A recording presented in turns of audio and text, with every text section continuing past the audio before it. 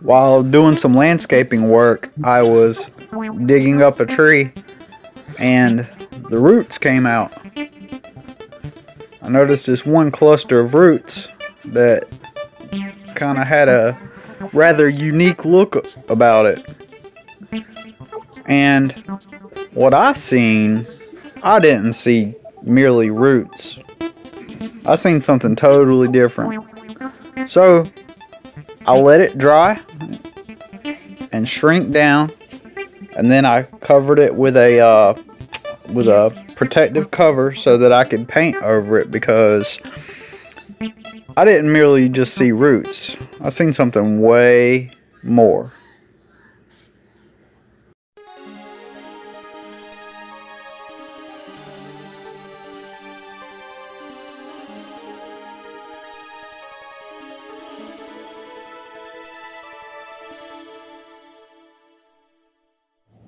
I seen a squad of monster friends having a good time, having a party.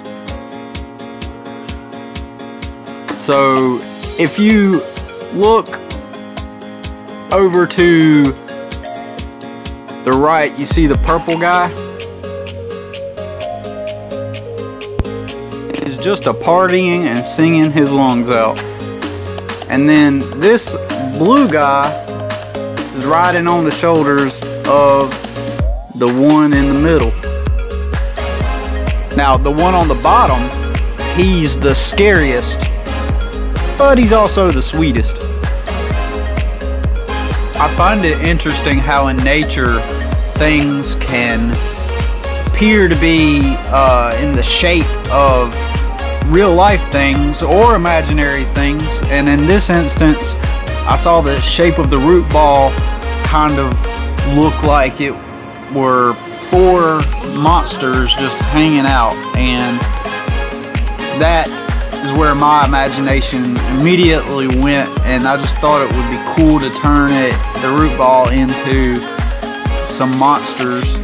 Now the guy in the middle the green guy right there he is kind of like the uh, center of the of the piece and kind of seems to hold the party together kind of and if you see right there at the top uh, I inserted a peanut shell into his head to kind of give him a brain he's the brains of the group and uh, he's just looking down over at Mr. Purple Guy uh, as they dance the night away and sing and he's just in admiration of his friend so that is it I hope you enjoyed the video. I hope uh, you, are, uh, you are enjoying seeing this piece of artwork that I've done. I painted it with acrylics and uh, I made teeth uh, for these guys so that they can eat and, uh, and all that good stuff. So thanks for watching. We'll talk to you soon.